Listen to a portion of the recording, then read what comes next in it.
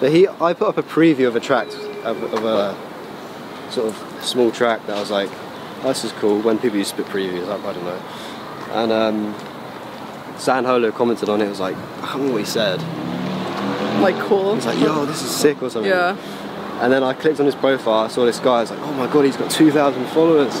Like, whoa, that's crazy. Seven times me. yeah. In like uh, San's hometown called Zoetermeer, and uh, it was like the first ever. I think it was from the first compilation. They did a little uh, get gathering of like 50 people, and uh, yeah, I flew over there and they did the live stream. My mum saw me on the live stream. She's like, "Wow, he's there." On I met. San, and it was like, yeah, it was quite surreal. Mm-hmm. It was quite crazy. But yeah, then I sent that to uh, Graves, and he was like, oh, I love the idea, and then he just completely fleshed it out, changed up the drop a little bit, added like much his, his normal like Graves drums. Yeah. Then he found another vocalist called Joni Payne, I think, and uh, yeah.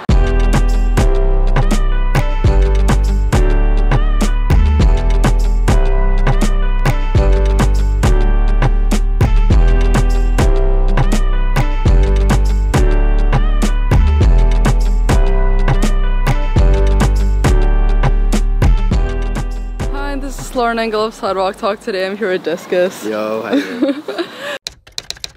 So you're originally from the UK? Uh, yeah, from uh, a small county called, well, not small, called Surrey, which is like uh, just sort of southeast of London, um, in a little town called uh, Farnham. Oh, okay. Yeah, And your parents are originally from there as well, or yeah, yeah. My parents, yeah. Mhm. what do they do? Uh, my dad's an engineer. My mum's a nurse. Oh. So like something completely like Yeah. irrelevant to music, but yeah. Is your mom the more creative one though? She like had you experiment with a lot, a lot of activities growing up. Is my mum more creative? Yeah. Um, yeah, I think my mum's. I'm not really sure. Like they're both quite creative. It's quite hard. What kind of music were they playing in the house when you were growing up? Uh, a lot of stuff like I don't know, like Dido and like old old records that like I, I don't know. They weren't really massively into music. It was just more one of those things that in school my mum got me into guitar lessons and it was like that's how I got into it, even though they're not musical. Yeah. Was that something you requested for, or did she kind of be Uh, like, she she was just like yeah, pick an instrument. I started up as a little kid as like uh, played like a little uh, recorder and. But then uh, when I was like eight years old, she was like do guitar lessons because all the other kids were doing guitar lessons or some instrument. So I did that guitar lessons at school and then realised that the teachers at school weren't that great so she like moved me on to like someone more private. How, how often were you doing these lessons? Uh, like once a week every Thursday for like half an hour, so not too much. Yeah. Uh, And back then, were you listening to uh, Andy Andy McKee or Andy McKee. yeah? Yeah, I love Andy McKee, like Sungha Jung, Andy McKee, a lot of acoustic guitar. But like when I started guitar, like my uh, my sort of uh, parents, or like they, they chose me to sort of do classical guitar. So Oh, like, okay. we had like a grading system in England where you have like what grade one to eight, Yeah. and I did like classical grades. Oh, so like- you had to take the exams? Yeah, to do exams. Yeah. Oh, you well, that's really serious. I feel like that's so uncommon, like in the UK or America. To I know in Asia it's so common for kids to do like the exams to pass the grade. Oh, do you have like instrument exams? Yeah, like I did p- tons of piano exams. Yeah, yeah, yeah. So Yeah. it's weird. You sort of go to some little church or somewhere like some strange Yeah. building. It's always something strange, and, and then like you random. sort of sit there and it's just yeah. what, ra- one person in like some reverby hall. They, like, sit there and they're like, right, you've got to sing some notes or you've got to play some. and You've got Yeah. to play three songs, and then there's a lot of theory and stuff that go behind it as well. But what made your mom or you want to take those exams? I feel like it's kind of uncommon. Most I parents are like, in- just, in- in England especially for guitar. Or in England, It's it's quite common, yeah. Okay, maybe that's the same because Hong Kong used to be British, but okay. So do you like doing those exams and like Uh, practicing yeah. a lot? I did, but then it got to the point where I was like, I don't really enjoy playing this sort of stuff because I was it was, it was almost like forced upon me. Not like I wasn't forced, forced, but it was like that's what I just wanted to do something different. So I got into like acoustic guitar and like uh, Andy McKee, like you said, and a lot more melodic uh, just playing what I want, u- uh, using tab rather than looking at music because Yeah. or score. Um, Were you in some bands back then? Then? uh, only in school bands, like I was in a folk band, Oh wow. a jazz band. Do you like that? Folk and Yeah. jazz. Yeah, jazz band was harder, folk band was quite relaxed. I enjoyed that more. Um, Did it ever occur to you to make a group with your friends, or were they not into music? Yeah, a lot of my friends weren't really into music, to be honest. I didn't really know any others apart from my my uh, like, parents, family friends who had their kids doing music. A lot of my friends were into gaming, and so for me, I was like between playing games and then making music most of the time. How else would you describe your personality back then, growing up? Um, quite an anxious kid, quite a shy kid that uh, sort of hang out of everyone in school rather than just select people, just sort of floated about whoever. Yeah. Um, did, did you like school? yeah, I liked school. It was, uh, I mean, it was a good time of my life. It Yeah. wasn't like, Did you do well? uh, no, not really. Just because, like, I don't know, I wasn't. I was one of those kids that didn't really focus in class at all. Sort of just, ne- unless I don't know, unless it was like something that I enjoyed, I'd just probably fail at it. To be honest, like.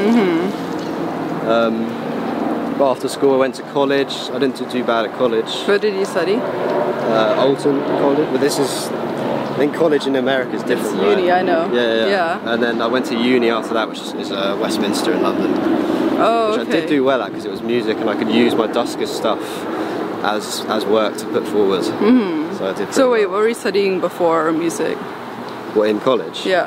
Uh, what was I studying?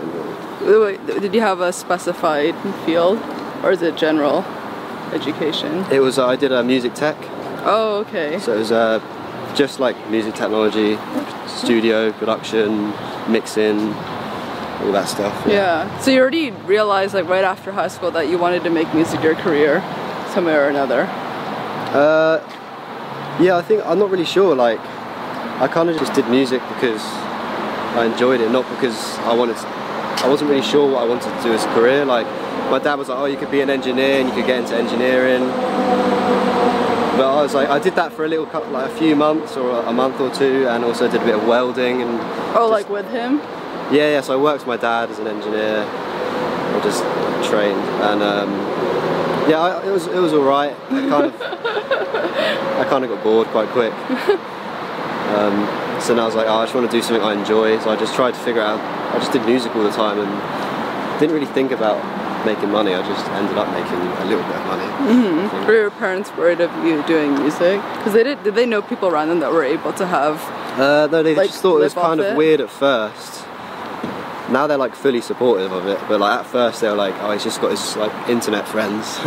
Do you know what I mean? And Yeah. they just thought I was just like, they're like, "Well, you're gonna have to get a real job one day," or. Mm. But then I think eventually, as I saw, I've like came to America and started playing shows and stuff. They really like understand it now because they follow like San Holo and all the. Uh, Oh yeah. yeah, yeah. But back then, when you were doing music technology, do you think did you already know from the onset you wanted to be an artist, or with that you could have been someone who's? I think that yeah, it was on my mind. I was like, oh, I love making music and I love being like portraying an image or an art, as an artist. But um, yeah, I was sort of I wasn't too sure, but I was like quite confident that I was wanting to do that. Yeah. Mhm. And then I know a lot of people who do music like don't want to study it. But what like looking back, do you think it really helps you, or do you think it kind of just made you the like the training too formal that it's hard to be creative? Um, what, like study music? Yeah, because a lot of like artists I listen to, they're like, oh, I would never study music because it's the training's too formal, and it would make me like take the love out of Uh, music. I, I don't think it would take the love out of music. I think the problem is, is when you go to study music, it might it's so, it, has to be so broad because there's so many different lanes of music. Do you know what I mean? So Yeah. it's like in uni we had to do like if I wanted to do that to like be in the sort of electronic scene, but no one else in my class was doing that. They were doing rock or something different. So they had to make it for everyone. So it was so broad that you wouldn't actually learn mm-hmm. specifics for you. Do you know what I mean? Yeah. Do you think you could you recommend people going to study music in school? Uh, I recommend it because you just get to meet other musicians and you get and you might just I don't know. For me, I use I use it as a way to not get a job for three years and just be around other music Yeah. people and just to just to be able to make music. Even sit at the back of the classroom, just making music with headphones on. Do you know what I mean? It's like, How did you get from doing the guitar to electronic music? Uh, that was a weird one. It was sort of like, I don't know, like in year 10, which is like when you're like, I'm not really sure what age, 15, 14? Year 10 is In the sort of early, I heard like electronic Oh, it's music like, being yeah, thrown around and dubstep being thrown around, and I was like, oh, I really want to do that. I really want to like figure out how to make music on a laptop, and I just watched this one like YouTube video that just step by step with some guy drawing in notes, and I was just copying one. I was like, wow, this is amazing. But also, I think in uh, my school before that, we, there was a program called Dance eJay, which is like a, a really you can just drag in loops. It's really easy loops, and they're all in key, and everything works. And it, and you can just make songs from it. And like I remember doing that, and it was like so fun. It was like I had so much fun doing that. And you get to show it in assembly like every Thursday or something like that. Mm-hmm. I was like, oh, this is amazing. And I remember doing that, and I was like, then a few years later, obviously, when the dubstep thing, I was like, I want to do it again. Like got FL Studio, and yeah. Mm-hmm. Started making melodic, yeah. melodic music. Did you have a name before Duskus? Uh, yeah, not really. Sort of. It's like it's, it's, It's out there, it's but kind it's of a bad name, there. so I don't really want to say it. yeah. And then how did you come up with your name? uh, Duskus was Yeah. uh, when I first started it in the first like three months of it being existing. It was like me and my friends. It was sort of Duskus, like, uh, and then yeah, he was just sort of a DJ and I produced. But then it was like we sort of just he's sort of we sort of separated. We didn't speak as much, and then I just ended up just taking the project. Oh, so it was originally a duo. Yeah, so of? yeah, yeah, for like a month. like, not very long. Yeah. like, yeah. How big were you until like San Holo found you, or like where was your following your Uh, career at that point? I think I had like 300 followers on SoundCloud, and Oh my I was getting like 10 comments on a track, and I was like, yes, 10, 10 comments. And they weren't your friends too, so that's what's cool. Yeah, or yeah. maybe they, I don't know. yes, maybe some of them. Yeah. but yeah, uh, Were you already like a huge fan of him at that point? Of uh, San, Yeah. you Uh, didn't really know his stuff? he had like 2,000 followers at that point. Oh, no way. So Wait, how many years ago was this? like five years ago, four years ago. Okay. So he hit me up. He, I put up a preview of a track, of, of a sort of small track that I was like, oh, this is cool. When people used to put previews up, I don't know. And um, San Holo commented on it. Was like, I can't remember what he said. Like cool. He's like, yo, this is sick or something. Yeah. And then I clicked on his profile. I saw this guy. I was like, oh my god, he's got 2,000 followers. I was like, whoa, that's crazy. Seven times me. And then I saw like in his bio it said like at Bitbird. I clicked on that and had like 50 followers or something. But I like, even though I like trying to send stuff all these other platforms, I like just love the like the look of Bitbird and the branding. And San Holo did have a couple of little ideas up on there as well. So I was like, oh, I really love the way this looks. Mm-hmm. So I sent that that preview track, the full thing, to uh, Bitbird. And then they just replied instantly saying, well, yeah, well, we'll do it as the first ever Bitbird release, pretty much. Oh wow. And then, yeah. And then how long after until you were like signed? Well, I'm not like exclusively signed to Bitbird. I'm just I sign the releases, but Oh, okay.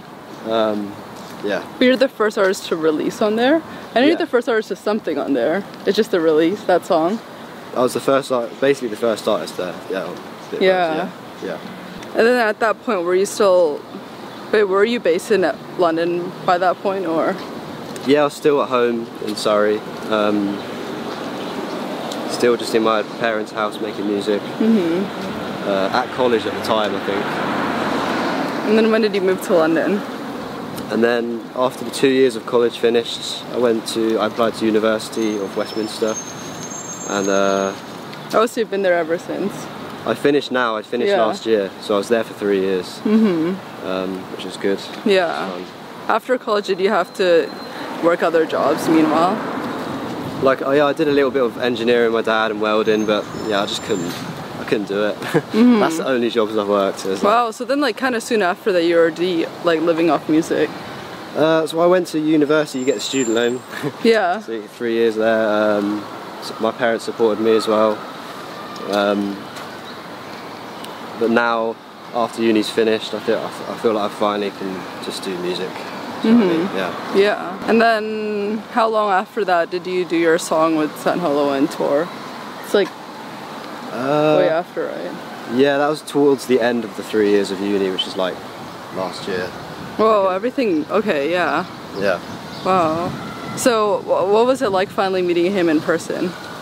Uh, Or when was that actually? I think that was even before I went to uni because they did a uh, Bitbird showcase like three or four years ago in like uh, San's hometown called Zoetermeer, and uh, it was like the first ever. I think it was from the first compilation. They did a little uh, get gathering of like 50 people, and uh, yeah, I flew over there and they did the live stream. My mum saw me on the live stream. She's like, "Wow, he's there." On the I met. San, and it was like, yeah, it was quite surreal. Mm-hmm. It was quite crazy. And then, when did you do your session together or make your song together? Uh, which one? There's two. Forever Free. Forever Free. Uh, that was like I don't know, like a year ago, just before, a few months before the album, his album. Um, I just basically wrote up a really basic idea of some vocal chops, and I sent it to him. He's like, "Yo, I love it. Let's work on it together." And I was like, "Yeah, sick." And then he just basically finished it like really quick, and I was like, "Jesus, it's amazing." and then yeah. So it wasn't in person. It was just like. No, we just did it online. Yeah. Yeah. Super easy. Like, And uh, when was the Bitbird writing camp? Your first writing camp? uh, when was that? I edited that video. I put up on this channel. I was like, oh wait, you're in this. I'm not even sure when it was. Like a year. I yeah, I think it was yeah, more I'm than really a year bad ago. dates. Yeah. yeah. but but- was your fir- how was that? Like, was it your first writing camp, right? Or Yeah, yeah. My first. Yeah, it was really sick. It was just cool to hang out with some like some of what I believe are some of the best creators yeah. ever. Mm-hmm. Some like genius minds. Just chatting to them, watching them make music, and then making music with some of them as well. It's just yeah, it's crazy. It's really good. And then what was it like um, touring with San? Did you do many shows before that? Not in the US. That was Yeah. the, the that that tour was the first ever US shows I ever did because I just got the visa and I was like fly over to the US, did Salt Lake City, and that was a crazy tour. Like quite relaxed. Everyone was really nice on the on the bus. Um, didn't get too much time to make music, but yeah, it was, it was just for me. It was just like a learning, a learning thing, seeing how crowds work. Because I've not played many shows. I'm not a great DJ. Um, but just see how the crowd reacts to your set. It took like three or four shows to really adjust my set to understand how it all works, you know. And you never have played with such big audiences before, right? Or in the UK, have you? Uh, no, no, that yeah, no, not that big. Was that In the UK, I played to like stressful? yeah, I was super stressed. Well, actually, I don't know. I, I feel like we've done a couple in uh, Holland, Okay. ADE, Yeah. which are like still much Oh, smaller. those are but they, those are smaller. But you've got a lot, a lot of my friends were there, so it was like that was more nerve wracking because all my friends are watching. But like when it's in America, you're just playing to some like random kids you've never seen in your life. So it's kind of just like, yeah, whatever. And it's not as nervous. I'm not. I don't get as nervous. for some mm-hmm. reason. And how about your Julu tour? That you're just like used to touring by that point? Yeah, or- obviously the first show I got to get back into it, but then it was like, yeah, easy, just chilled, really fun. I used to get like so nervous for like the shows at first, but now it's just like when I'm not playing a show, I'm like, oh, I want to play a show. Do you know what I mean? So it's like- Actually, for like new artists, what kind of advice would you give them for if they also have the anxiety before they go on a show? Uh, that's a difficult. That's a difficult one to be honest. There's a lot of different. I mean, have one, have a beer, put some sunglasses on. Sunglasses. Uh, yeah, I don't really know that. I if I knew, I would, I would have used it. You know what I mean? like just keep playing shows until you don't get nervous. That's it, basically. Yeah. So in a previous interview, I think that you said that you took a small break from music.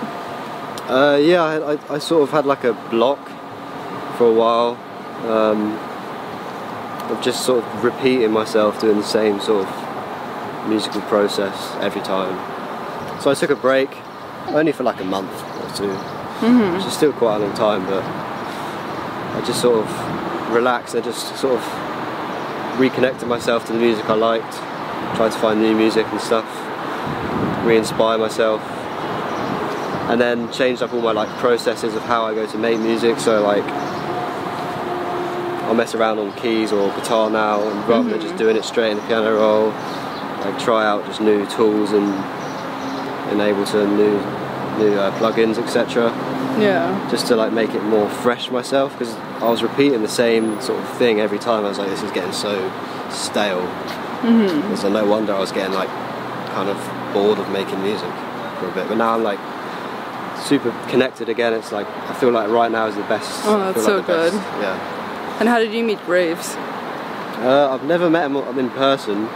He just hit me up on Twitter, And how was the process like for that? Uh, making the track with Graves. Yeah. Um, yeah, I just sort of sent him a bunch of ideas. I was like, if there's any of these you vibe with, let me know. And there was one called Easy, which like I recorded my girlfriend's vocal. We just sliced like I wish it was easy. Oh, is she a singer? Yeah, she sings. Oh. Um, she music as well.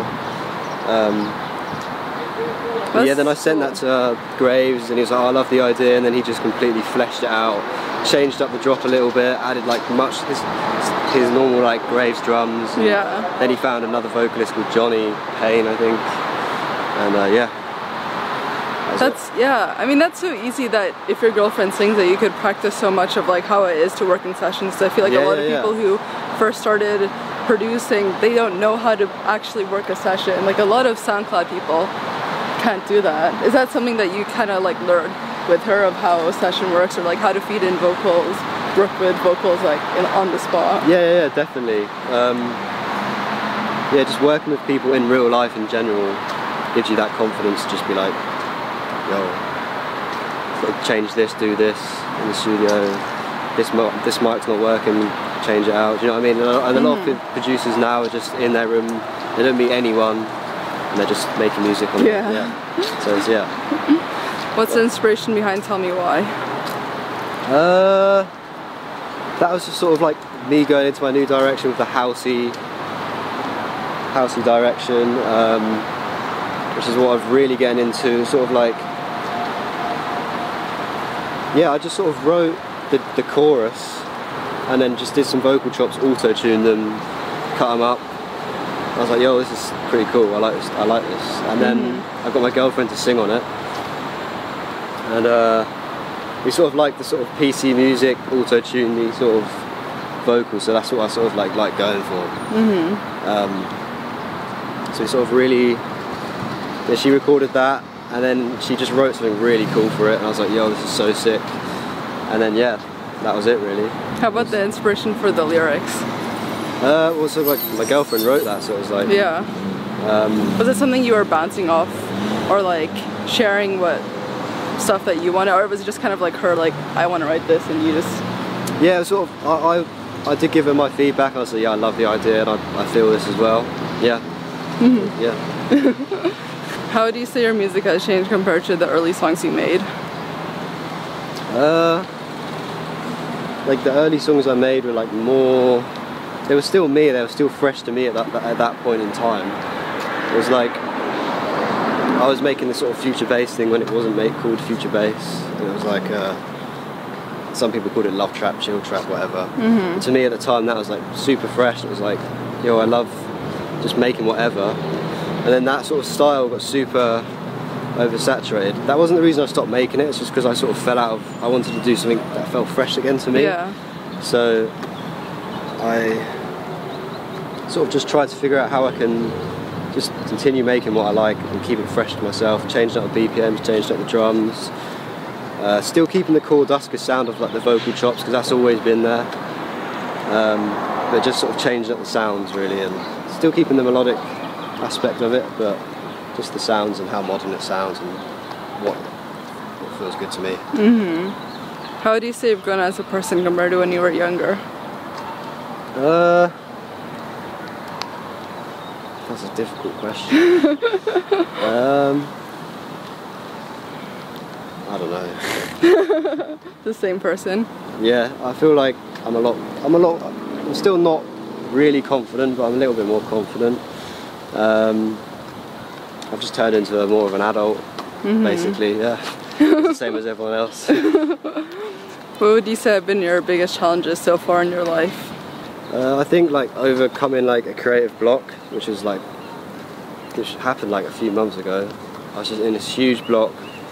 And it, it made me feel super like depressed about it. Just like I was like, ah, I'm never going to write what I like again. I'm but then I just realised I was aiming to write something good, rather than just forgetting about what I'm writing and just really feel music for what it is and forget.